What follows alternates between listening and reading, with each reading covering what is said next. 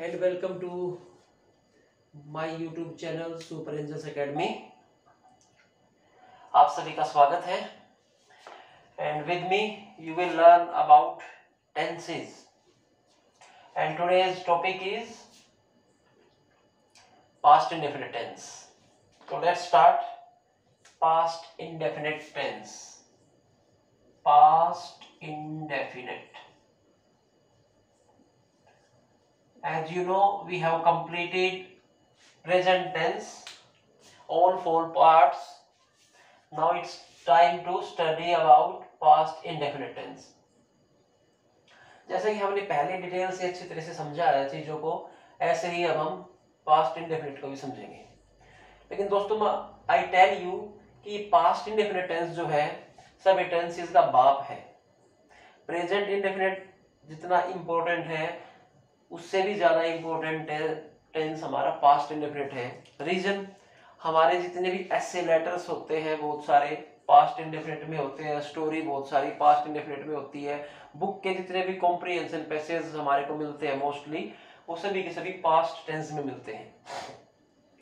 जो हमारे एग्ज़ाम में टेक्स्ट बुक के पीछे क्वेश्चन मिलते हैं लेसन के एंड में उनमें से भी 50 से 60 परसेंट अकेला पास्ट टेंस कवर करता है और उसमें भी सबसे ज़्यादा इंपॉर्टेंस पास्ट इंडेफिनिट की है। सो so, आज आप अपने 100 परसेंट कंसेंट्रेशन के साथ हमारे सामने बैठेंगे। एंड ये तो मेरी गारंटी है ही कि आप वीडियो देखने के बाद 200 परसेंट जो है पास्ट इंडेफिनिट टेंस को सीख जाएँगे। तो आगे बढ़ने से पहले एक अपील आपसे अगर आपको वीडियो अच्छा लगे, अगर आपको टेंस समझ में आ जाए तो फिर आपको वीडियो को शेयर करने में लाइक करने में कंजूसी नहीं बरतनी है और चैनल को भी सब्सक्राइब कर लेना है। लेकिन पहले ये वीडियो देखिए, मुझे कोई ज़्यादा पब्लिसिटी नहीं करनी है, लेकिन मैं चाहता हूँ कि ज़्यादा से ज़्यादा लोग लॉकडाउन में हमारे साथ जुड़ के फ़ायदा उठाए बेनिफिट उठाए। तो सबसे पहले, जैसे हम पहले पढ़ते आए हैं टेंस के बारे में मैंने एक ही बात बताई है, एक ही मंत्र आप लोगों को दिया है। अगर टेंस सीखना है तो हर टेंस का स्ट्रक्चर आपको सीख लेना। है स्ट्रक्चर क्या सीखना है? स्ट्रक्चर अब देखिए, बोल ही दिया जब कि मोस्ट इंपोर्टेंट टेंस है सभी से। मोस्ट इंपोर्टेंट बोल दिया जब आपको मोस्ट इंपोर्टेंट टेस्ट है टेंस है सॉरी तो अब देखिए मोस्ट इंपोर्टेंट है तो कुछ खास होगा। ये एक मात्र ऐसा टेंस है जिसके अंदर वर्ब की सेकेंड फॉर्म यूज़ होती है पास्ट इंडेफिनिट जैसे सबसे पहले स्ट्रक्चर में आपके पास आएगा सब्जेक्ट सब्जेक्ट के बाद वर्ब की सेकंड फॉर्म आएगी, जिसको आप पास्ट फॉर्म भी बोलते हो। और उसके बाद आपका आएगा ऑब्जेक्ट और मैं ये जो स्ट्रक्चर लिखा है लास्ट में फुल स्टॉप है तो सिंपल सी बात है, ये असर्टिव सेंटेंस का स्ट्रक्चर है। असर्टिव सेंटेंस का स्ट्रक्चर है। फिर हम बाद में इनको नेगेटिव में भी कन्वर्ट करेंगे इंटरोगेटिव में भी कन्वर्ट करेंगे। और इम्पोर्टेंट इसलिए है क्योंकि जब नेगेटिव में कन्वर्ट करते हैं तो यहाँ पे कुछ थोड़ा हमें ज़्यादा ध्यान देने की ज़रूरत होती है। किसी भी सेंटेंस को नेगेटिव कैसे कन्वर्ट किया जाएगा पास्ट इंडेफिनिट को, ये हमें अच्छी तरह से समझना है। तो देखिए, कुछ एग्जाम्पल्स लेके हम स्टार्ट करते हैं। अगर देखें, कुछ एग्जाम्पल्स में, पहला एग्ज़ाम्पल अगर मैं लेता हूँ, जैसे रवि ने दूध पिया। ये सेंटेंस मैंने आपके सामने लिखा। यानी कि कोई एक्शन अभी अभी रिसेंटली कंप्लीट हुआ, ऐसा लगता है कि रमन ने दूध पिया, रवि ने दूध पिया। अब पीछे साउंड देखिए, पिया, आ की साउंड आई, पीछे आ। इसी तरह की कुछ साउंड निकल के आएगी आ, ए, ई। अभी रिसेंटली काम कंप्लीट हुआ, ऐसी कुछ साउंड निकल के आएगी। अब देखिए इसमें भी हमें वही चीज़ पहचानी पड़ेगी सब्जेक्ट सबसे पहले कौन है? रवि सब्जेक्ट है। वर्ब क्या है? पीना, वर्ब ये आपकी आ गई और क्या पिया? दूध, ये ऑब्जेक्ट आ गया। बस इस इस इंफॉर्मेशन को स्ट्रक्चर में सेट कर दीजिए। सेंटेंस कंप्लीट हो जाएगा। रवि, अब यहाँ पे ध्यान दीजिए। वर्ब पीना, पिया, पीना से पिया तो ड्रिंक की सेकंड फॉर्म बनेगी drink Ravi drink milk, Ravi drink milk full stop ये आपका सेंटेंस कंप्लीट हुआ, रवि ड्रिंक मिल्क। और सेंटेंस देख लीजिए एक बार। बच्चे सर्कस गए। बच्चे सर्कस गए मीन सर्कस देखने गए। देखो, आ, ए, ई ए की साउंड आई, गए। अभी यानी कि बच्चे गए। सो देखिए सब्जेक्ट, बच्चे, जाना वर्ब सर्कस ऑब्जेक्ट तो चिल्ड्रन ट्रांसलेट करेंगे जब हम चिल्ड्रन सब्जेक्ट लगाया सेकंड फॉर्म हमने लगाई, जाना की गो की सेकंड फॉर्म होती है वेंट चिल्ड्रन वेंट कहाँ पर गए? टू सर्कस जब एक जगह से दूसरी जगह जाते हैं तो टू का यूज़ करते हैं प्रेपोजिशन का। चिल्ड्रन वेंट टू सर्कस तो ये देखिए स्ट्रक्चर में मैं फिर से मार्क कर देता हूँ। स्ट्रक्चर आप पहचानिए। स्ट्रक्चर के अकॉर्डिंग वैल्यू को अरेंज कर दीजिए इन्फॉर्मेशन को अरेंज कर दीजिए और आपका सेंटेंस कंप्लीट हो जाएगा। और देख लीजिए। हम्म, लता फल लाई लाई ई की साउंड आई पीछे देखिए। आ आ ए ई किस तरह की साउंड आती है? जैसे अब सब्जेक्ट लता, लाना वर्ब फ्रूट ऑब्जेक्ट तो लता, लाना ब्रिंग की सेकंड फॉर्म लगाइए brought B R O U G H T Lata brought fruits Lata bought fruits Lata brought fruits तो ये हमारा स्ट्रक्चर बनता है S for subject V for second form past form and object इस तरीके से हम असर्टिव सेंटेंस आसानी से बना सकते हैं पास्ट इंडेफिनिट के। ये बड़े सिंपल एग्जांपल्स मैंने लिए हैं। ये सेंटेंस लंबे भी हो सकते हैं, इनके अंदर इंफॉर्मेशन और आ भी सकती है। जैसे मैं यहाँ पे कुछ एग्जांपल्स और लेके दिखाऊँगा मैं। लेकिन उससे पहले मैं चाहता हूँ कि आप लोग साथ साथ अब आप प्रेजेंट टेंस तो सीख ही चुके हैं तो यहाँ पे साथ साथ आप नेगेटिव सेंटेंस के बारे में, इसके बारे में पढ़ लें तो अच्छा रहेगा। तो देखिए नेगेटिव सेंटेंस कैसे बनाएँगे? ध्यान दीजिएगा। बड़ा इंपॉर्टेंट पॉइंट है नेगेटिव सेंटेंस सबसे पहले तो आपका लगाना है सब्जेक्ट जब हम नेगेटिव सेंटेंस बनाएँगे सब्जेक्ट सब्जेक्ट के बाद हेल्पिंग वर्ब लगेगी। क्यों?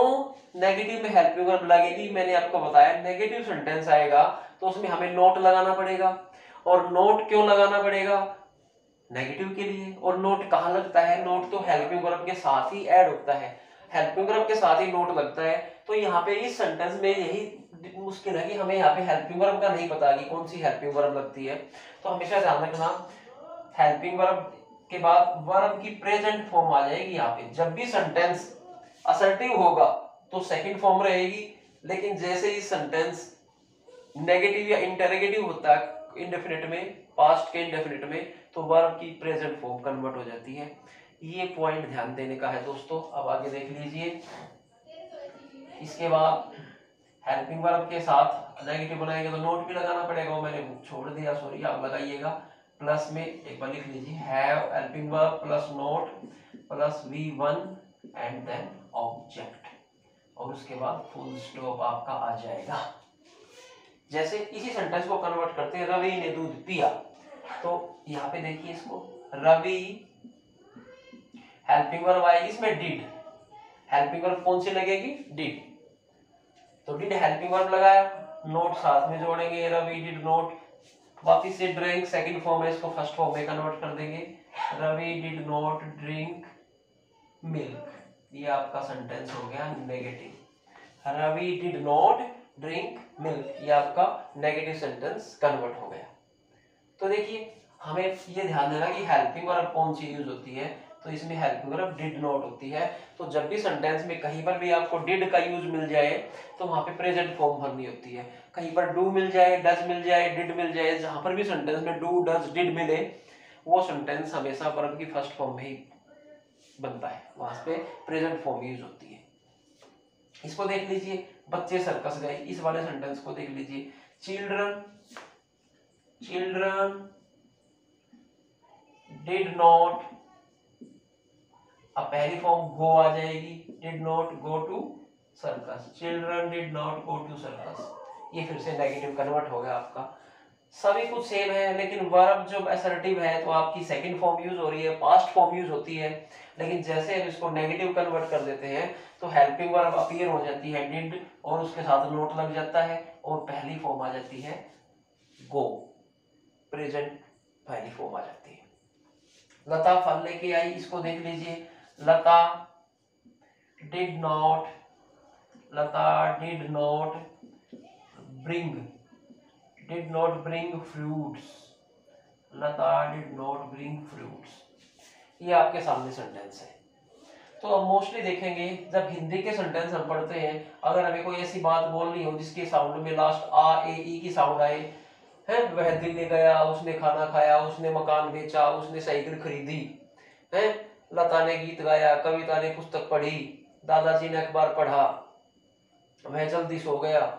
ठीक है, मेरे दादाजी आर्मी में शहीद हो गए। इस तरह की जो चीज़ें सेंटेंस है, जिसमें आ ए ई की साउंड आए, हिंदी मीडियम स्टूडेंट्स ध्यान दे रहे जिनको ट्रांसलेशन करने की हैबिट बनी हुई है। अगर सेंटेंस के एंड में आ ए ई इस तरह की साउंड मिलती है तो ये मान के चलिए, हमें उस सेंटेंस को पास्ट इंडेफिनिट में कन्वर्ट करना है। लेकिन जमाना इंग्लिश मीडियम का है तो हमें कोशिश करनी है कि हम इंग्लिश टू इंग्लिश ही दिमाग में सोचे और ट्रांसलेट करें और ट्रांसलेट करने के लिए हमें दिमाग में क्या चाहिए स्ट्रक्चर चाहिए कि हमें अपनी बात बोलनी है कि कोई एक्शन जब रिसेंटली कंप्लीट हुआ तो पास्ट इंडेफिनिट में होगा और उसके लिए हमें सेकेंड फॉर्म पास्ट फॉर्म का ही यूज़ करना होगा। तो इस तरीके से आप आसानी से सेंटेंसेस को कन्वर्ट कर पाएँगे दोस्तों। ओके समझ में आया? गॉट इट अब हम कोशिश करते हैं आगे बढ़ने की। अब हम आगे बढ़ते हैं, कुछ और सेंटेंसेस लेते हैं दोस्तों, आगे बढ़ते हैं तो इसको मैं इरेज कर देता हूँ। इरेज करने के बाद आज डस्टर गायब हो गया कहीं तो जो भी मुझे मिला है कपड़ा उससे मैं साफ़ कर देता हूँ डोंट वरी आप देखिए। कुछ और एग्जांपल लेते हैं, और कुछ अच्छी चीज़ सीखने की कोशिश करते हैं। ये चीज़ें हमने सीखी है। अब हम इंटरोगेटिव सेंटेंस सीखने की कोशिश करते हैं। इंटरोगेटिव सेंटेंस इंटरोगेटिव सेंटेंस सीखने की कोशिश करते हैं। इसी का। मैं एक सेंटेंस देता हूँ, उसको इंटरोगेटिव कन्वर्ट करते हैं। जैसे बॉयज़ प्लेड a match अब इस सेंटेंस की हिंदी में समझना हमें दिमाग में क्या लिखा हुआ है? बॉयज़ सेकंड फॉर्म लिखी हुई है, जिसका मतलब लड़कों ने मैच खेला। आ boys played a match assertive sentence है। नेगेटिव बनाएँगे तो क्या आ जाएगा? Boys did not boys did not play a match अब मैंने पहले इंटरोगेटिव से पहले नेगेटिव क्यों बनाया? क्योंकि इंटरोगेटिव में हेल्पिंग वर्ब सब्जेक्ट से पहले आएगी तो हमें पहले हेल्पिंग वर्ब तो लेके आनी थी तो ये हमारी हेल्पिंग वर्ब आ गई और ये हमारा सब्जेक्ट आ गया। अब इसको इंटरोगेटिव बनाएँगे तो डिड आ जाएगा आगे।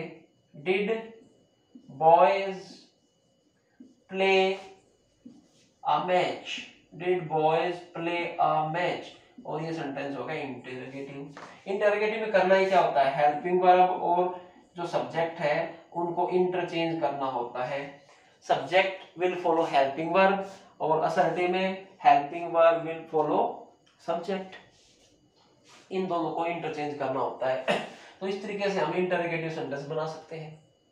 एक एग्जांपल और लेके देख लीजिए। Ajit. Ajit won the first prize Ajit won the first prize अब सेकंड फॉर्म आपको मिली। तो आपको सेकंड फॉर्म मिली तो इसके मींस पास्ट इंडेफिनिट है। इसको नेगेटिव में कन्वर्ट करेंगे। तो Ajit Ajit did not did not win the first prize win the first prize ये आपका सेंटेंस हो गया निगेटिव अब आपको इसको इंटरोगेटिव करना है तो कुछ नहीं करना। इन दोनों को इंटरचेंज कर दीजिए। डिड आगे आ जाएगा। Did Ajit win the first prize did Ajit win the first prize और साइन ऑफ़ इंटरोगेशन लास्ट में आ जाएगा सेंटेंस के। चलो। आई होप आइडिया हुआ, क्लियर हुआ होगा कॉन्सेप्ट कैसे ट्रांसलेशन करनी है। ठीक है दोस्तों। लेकिन मैं आज इस टेंस के साथ एक और इम्पोर्टेंट चीज़ जोड़ने वाला हूँ। आप उसके बारे में देखेंगे अभी। वो सेंटेंस इंटरोगेटिव से रिलेटेड है। अगर यहाँ पर भी किसी को कुछ डाउट लगता है तो वीडियो को बार बार पॉज कर लीजिएगा। कितने मैं एग्ज़ाम्पल बनाऊँ? आपको ऐसे ही बनाने पड़ेंगे। ऐसी कोई खास बात इसमें होती नहीं लेकिन देखिए, मैं अब क्या समझाने वाला हूँ आप लोगों को इंटरोगेटिव सेंटेंस के बारे में। ध्यान से देखिएगा। बड़ा काम का कॉन्सेप्ट है। जितने भी कॉम्प्रिहेंशन आप सोल्व करते हैं तो कॉम्प्रिहेंशन सोल्व करने में ये बहुत ही ज़्यादा आप यूज़ करते हैं बट आई डोंट थिंक आपको ये पता है या नहीं पता है, लेकिन मैं बता देता हूँ। देखिए, जब हम इंटरोगेटिव सेंटेंस बनाएँगे, दो तरीके से बनाते हैं। इंटरोगेटिव सेंटेंस दो तरीके से बनते हैं। जब हम इंटरोगेटिव सेंटेंस बनाएँगे इंटरोगेटिव सेंटेंस पहला तो क्या होता है, पहली टाइप डायरेक्ट जो सेंटेंस होता है, वो हेल्पिंग वर्ब से स्टार्ट होता है। जैसे आपसे पूछता हूँ मैं did you eat food did helping verb starting में आ गई। यू सब्जेक्ट होगा, ये पहली फॉर्म आ गई, ये ऑब्जेक्ट आ गया। ये स्ट्रक्चर बताया पास्ट इंडेफिनिट का।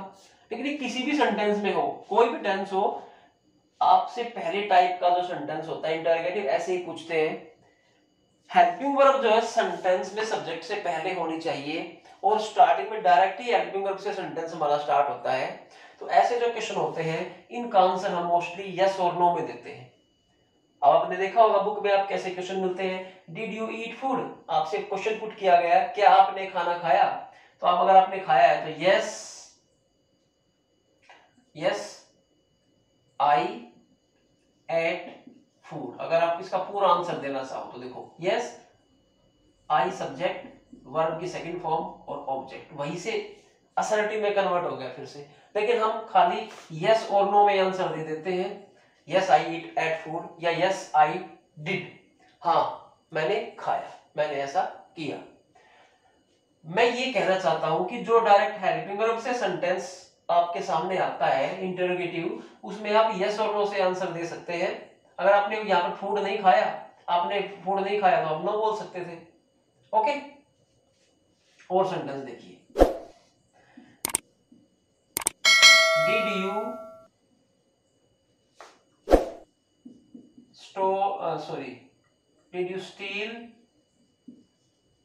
his purse आपसे क्वेश्चन पुट किया जा रहा है, क्या तुमने उसका पर्स चुराया? अगर आपने नहीं चुराया नो बस कंप्लीट सेंटेंस बोलना तो नेगेटिव में। No I did not steal his purse नहीं, मैंने उसका पर्स नहीं चुराया। लेकिन सेंटेंस पूरा क्यों नहीं लिखते? क्योंकि इस नो में ही आपने जो रिस्पॉन्स देना था, दे दिया। आपसे जो क्वेश्चन पुट किया गया, आपने उसका आंसर तो यहीं पे दे दिया। आपने बोला नो तो इट मीन आपने बोल दिया, मना कर दिया। आपने कहा, आपने फ़ूड खाया, आपने बोला यस तो सामने वाले को जो क्वेश्चन सामने वाले ने जो क्वेश्चन आपसे पुट किया था, उसको तो उसका रिस्पॉन्स मिल गया। और इसीलिए तो क्वेश्चन पुट किया उसने कि उसको उसको अगर कोई सामने वाला स्पीकर आपसे क्वेश्चन डायरेक्ट इन हेल्पिंग वर्ब से स्टार्ट करके पुट करता है तो उसकी इंटेंशन ही यही है कि वो आपसे कंफर्मेशन चाहता है यस और नो कि आपने ऐसा कोई काम किया है या नहीं किया है। तो खाली यस और नो में भी आपका काम चल सकता है। लेकिन मैं ये भी दिखा दिया, अगर आपका आंसर यस है तो आपको असर्टिव सेंटेंस कहना चाहते हो कि हाँ मैंने खाना खाया है तो आई एट फ़ूड ऐसे आ जाएगा। अगर आपने पर्स चोरी नहीं किया तो आपका आंसर नेगेटिव है तो नेगेटिव में फिर no I did not steal his purse लेकिन ये नहीं लिखते, क्योंकि इस नो का और इस सेंटेंस का मीनिंग एक ही निकल के आता है सेम मीनिंग निकल के आता है। तो ये बड़ा स्टूपिड सा, बड़ा ऑकवर्ड सा हमें फील होता है तो हम इसलिए इनको ऐसे ही बनाते हैं। लेकिन अब जो मैं बात बताता हूँ, आप ध्यान दीजिएगा मोस्टली जो कॉम्प्रिहेंशन बच्चे सोल्व करते हैं और जो आंसर देते हैं, रट्टा मारते हैं, वो रट्टा मारने के आगे ज़रूरत नहीं है, यहाँ पे देखिए। दूसरे जो हमारे जो इंटरगेटिव सेंटेंस बनते हैं, वो क्वेश्चन वर्ड से स्टार्ट होते हैं। जैसे, अगर सेंटेंस हेल्पिंग वर्ब से स्टार्ट है तो डेफिनेटली उसमें लास्ट में ऑब्जेक्ट गिवन है। ये देखिए ध्यान से। अगर आपका सेंटेंस डायरेक्ट हेल्पिंग वर्ब से स्टार्ट है तो उसके अंदर ऑब्जेक्ट गिवन है। इसमें भी देख लीजिए कि उसने पहले कह दिया कि क्या आपने पर्स चुराया है, क्या आपने भोजन खाया है। लेकिन जब हमारा सेंटेंस क्वेश्चन वर्ड से स्टार्ट होगा what when why how which who whom इनसे स्टार्ट होगा तो सेंटेंस में ऑब्जेक्ट नहीं होता। जैसे मैं आपसे क्वेश्चन पुट करता हूँ। What did you eat in breakfast आप स्कूल में गए, आपसे, आपके किसी फ्रेंड ने पूछा कि what did you eat in your in breakfast अब देखिए, ध्यान से देखिए, इसमें सब्जेक्ट यू है हेल्पिंग वर्ब डिड है मेन वर्ब पहली फॉर्म है, क्योंकि जहाँ पर भी डिड आएगा, वहाँ पहली फॉर्म आएगी। अब देखिए, इसमें ऑब्जेक्ट कहीं नहीं है। अब ये कहोगी ऑब्जेक्ट है ब्रेकफास्ट इसमें ऑब्जेक्ट नहीं है। ये तो एडवर्ब के तौर पे यूज़ हुआ टाइम बताने के लिए। या ऑब्जेक्ट की जगह पे आया कोई भी चीज़, वो ऑब्जेक्ट नहीं है। ऑब्जेक्ट का फ़ंक्शन नहीं देती, क्योंकि ऑब्जेक्ट तो पूछा है। अगर किसी क्वेश्चन में व्हाट का यूज़ किया तो ये सोच के चलो आपसे ऑब्जेक्ट की डिमांड करता है आंसर में। अब मेन कॉन्सेप्ट इंटरोगेटिव का यही है कि आपका जो क्वेश्चन पूछा जाएगा, उसमें हेल्पिंग वर्ब सब्जेक्ट से पहले होनी चाहिए, ये कॉन्सेप्ट तो कभी भी गायब नहीं होगा। लेकिन मैंने कहा ये भी सेंटेंस इंटरोगेटिव है, ये भी सेंटेंस इंटरोगेटिव है। इस इंटरोगेटिव सेंटेंस में क्या है? हेल्पिंग वर्ब स्टार्टिंग में है। सेंटेंस के बिगिनिंग में ही हेल्पिंग वर्ब है। लेकिन इस सेंटेंस के बिगिनिंग में क्वेश्चन वर्ड से आपका स्टार्ट किया गया है। तो फिर इसका आंसर कैसे देंगे? इसका आंसर देने के लिए हमें क्या करना पड़ेगा? इस सेंटेंस को असर्टिव बनाना पड़ेगा। यानी कि वही पहले सब्जेक्ट फिर वर्ब की सेकंड फॉर्म फिर ऑब्जेक्ट देखो जैसे what did you eat in breakfast तो आप आपको आंसर देना तो सब्जेक्ट आपका आई बन जाएगा। आई और अब आपको असर्टिव बनाना तो सेकंड फॉर्म आ जाएगी। आई एट ईट की सेकंड फॉर्म आ जाएगी एट आई एट आपने क्या खाया था? कर्ड खाई थी suppose low curd and rice I ate curd and rice in breakfast मैंने ब्रेकफास्ट में चावल और दही खाई। तो ये आपका आंसर हो गया। देखिए सब्जेक्ट आ गया वर्ब की सेकंड फॉर्म आ गई। और अब ऑब्जेक्ट में क्या खाया? जब क्या आंसर मिल गया तो आपका ऑब्जेक्ट भी आ गया। अब देखो, अगर कर्ड एंड राइस ऑब्जेक्ट है तो ये इन ब्रेकफास्ट ऑब्जेक्ट तो नहीं था। और मैं यही कहता था कि सेंटेंस में ऑब्जेक्ट नहीं होता। मोस्टली अगर व्हाट से कोई क्वेश्चन आपसे पुट किया जाता है व्हाट से कोई क्वेश्चन स्टार्ट होता है तो स्टूडेंट्स ध्यान रखिए, उस सेंटेंस में ऑब्जेक्ट गायब होता है। आपको ऑब्जेक्ट आंसर में आपको लिखना होता है। लेकिन जब सेंटेंस डायरेक्ट हेल्पिंग वर्ब से स्टार्ट होता है तो उस क्वेश्चन में आपका हेल्पिंग वर्ब सॉरी से स्टार्ट होने वाले में ऑब्जेक्ट गिवन होता है। जस्ट आपको कंफर्मेशन देना है यस और नो का कंफर्मेशन देना है। तो और सेंटेंस देख लीजिए, जैसे where did you where did you see the snake भैया, आपने सांप कहाँ पर देखा? आपने सांप कहाँ देखा? अब आपसे क्वेश्चन पूछा तो वेयर देखिए did helping verb you subject see पहली form snake where did you see the snake अब स्नेक के बारे में बात हुई है, लेकिन यहाँ पे ऑब्जेक्ट इससे डिसाइड होगा, क्योंकि इसमें पूछा गया है कहा? प्लेस पूछा गया तो प्लेस का आंसर स्नेक तो हो नहीं सकता। मींस ऑब्जेक्ट का कुछ ना कुछ पार्ट गायब होगा, जिसको आपने आंसर देना है। मतलब आप ये देखिए कि आप इस तरह के क्वेश्चन जब कॉम्प्रिहेंशन में आते हैं तो आप उनका आंसर ऐसे तो स्टार्ट करते हैं। I saw the snake in the garden कि भाई मैंने तो गार्डन में स्नेक देखा तो प्लेस का नाम आपको लिखना पड़ेगा। ज़रूरी है कि आप प्लेस ऑब्जेक्ट हो जाए। ये आई सब्जेक्ट हो गया सा सेकंड फॉर्म होगी स्नेक ऑब्जेक्ट हो गया, लेकिन यहाँ पे वेयर का आंसर पूछा था तो प्लेस पूछा था तो एडवर्ब हो जाएगा। मान लीजिए स्नेक इन द गार्डन तो गार्डन एक एडवर्ब को प्लेस कह सकते हैं प्लेस है। तो इस तरीके से आपको ध्यान देना है। इंटरोगेटिव सेंटेंस आपसे दो तरीके से पूछे जा सकते हैं।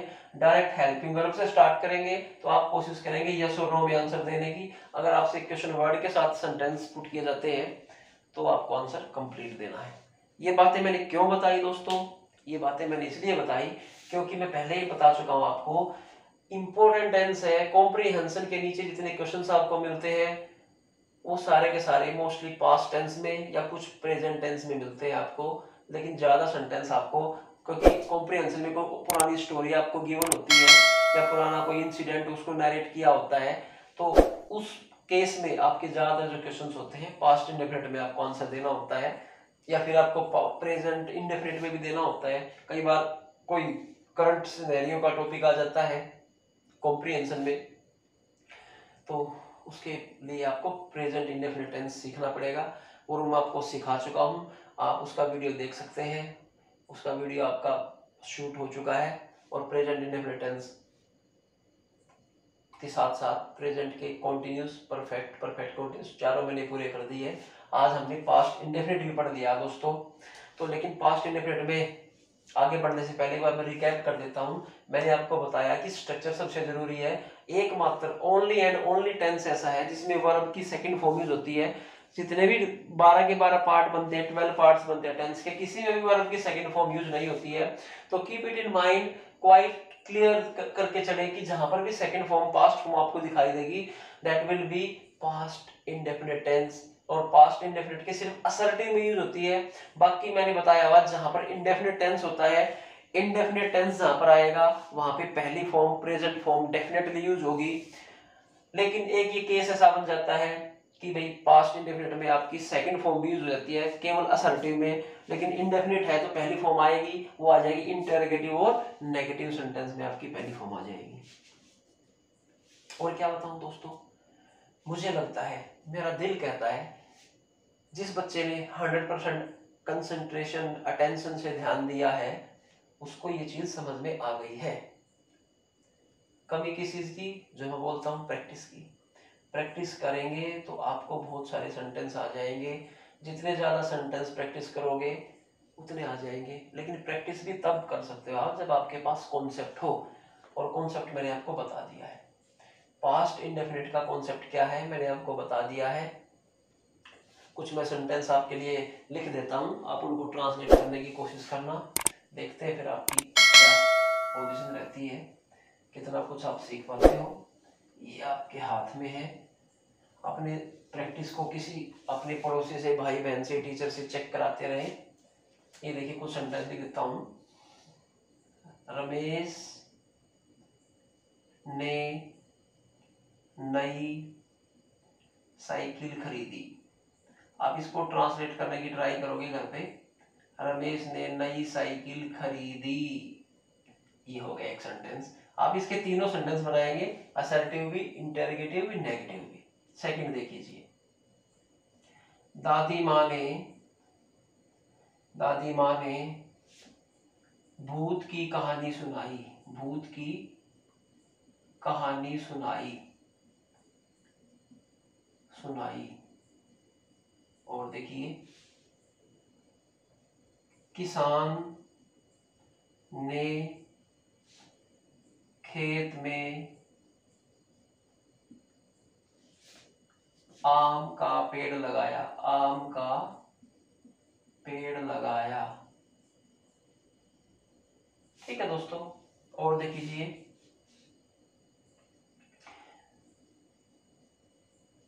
अंजलि बाज़ार से